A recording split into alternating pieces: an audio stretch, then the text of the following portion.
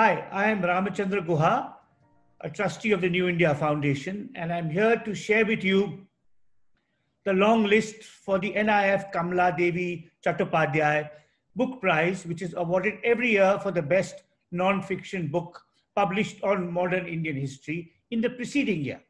First, a little bit about the New India Foundation. Uh, it's based in Bengaluru, like many great things are based, especially intellectual creative activities of this kind. Uh, its main aim is to sponsor high quality research on uh, the history, politics, sociology, economics, etc. of independent India. Uh, we grant fellows, fellowships to uh, Indian citizens uh, who have written uh, for us in the years that since we've been founded, a series of outstanding books on different aspects of Indian history. The details of these books are available at www.newindiafoundation.org. So that's our first activity, in some ways still our flagship activity. We also have an annual lecture, uh, which has been delivered by such people as Raghuram Rajan, Ela Bhatt, Jean Drèze, uh, Esther Duflo, and other such scholars and activists. And we have had for the last three years this prize, the Kamla Devi Chattopadhyay Prize, named after a truly great Indian, who uh, Kamala Devi Chattopadhyay, freedom fighter, social reformer, uh, activist in the craft sector, writer, uh, and so on and so forth. A, really, a multifaceted Renaissance Indian, uh, after whom this prize has been named. And uh, this year, I'm here to announce the long list of 12. Our jury consists of Nandan Nilekani, uh, Manish Sabharwal, Nirja Gopal Jayal, Nayanjot Lahiri, Srinath Raghavan, and myself. So a mix of uh, scholars and, shall we say, entrepreneurs. Uh, and we are very grateful to all the publishers who participated in the exercise. And it was, as always in such uh, endeavors, always in such juries, both a pleasure and a burden because you get to read all kinds of fascinating books. We had a very strong field this year, but it's a burden because ultimately you have to winnow, winnow down 100 books, 100 odd books to 12, and then to six, and then of course to a winner, one final winner, which doesn't mean that the other books on that list are not also top class. So the first step is to announce the long list today, which is what I'm going to do. And I'm going to read out the 12 books in alphabetical order of author. And here they are. Amit Ahuja, Mobilizing the Marginalized, Ethnic Parties Without Ethnic Movements. Stephen Alter, Wild Himalaya and Natural History of the Greatest Mountain Range on Earth.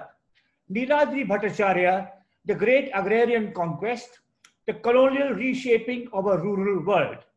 Katherine Eban, Bottle of Lies, Ranbaxy and the Dark Side of Indian Pharma. Radhika Govindrajan, Animal Intimacies, Beastly Love in the Himalaya.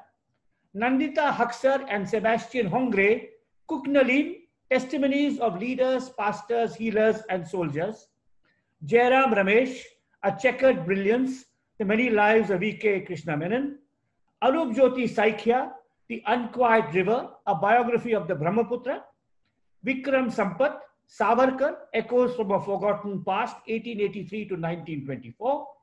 Amandeep Sandhu, Punjab, Journey Through Fault Lines. Rajdeep Sardesai, 2019, How Modi Won India.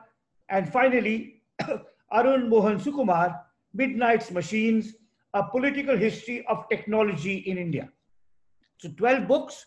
I think there are about seven or eight publishers represented in it. So we have, um, you know, it's like the spectrum is wide in terms of uh, themes. We have two outstanding political biographies. We have some first rate environmental histories.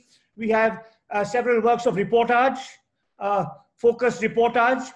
Uh, we also have, you know, uh, uh, regional studies, excellent books on Nagaland and on, on the Punjab, and some really deep scholarly works, some more accessible popular writing, yet other writings that are a bridge between, you know, what are called crossover books, not purely scholarly, not purely popular.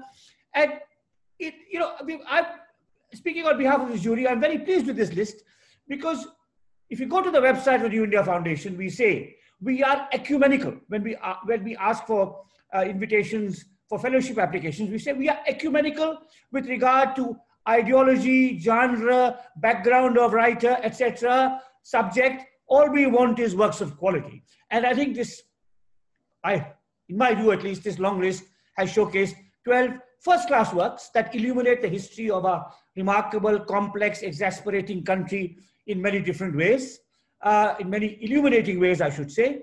And uh, uh, these 12 books will then be assessed by our jury, our six-member jury, uh, who will winnow it down to uh, from 12 to 6. And we'll be back with you in maybe a month's time to share with you the shortlist for the Kamala Devi Chattopadhyay New India Foundation book prize for the best book on non-fiction published in the preceding year.